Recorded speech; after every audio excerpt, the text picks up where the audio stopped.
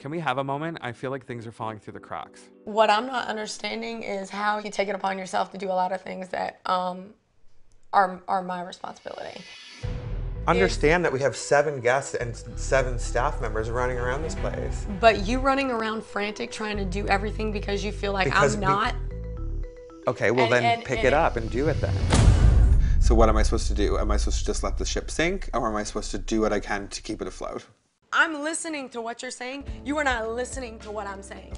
Okay. I feel like you're overriding my management 100%. Just because I'm not doing it on your timeline, Okay. it's still not your responsibility.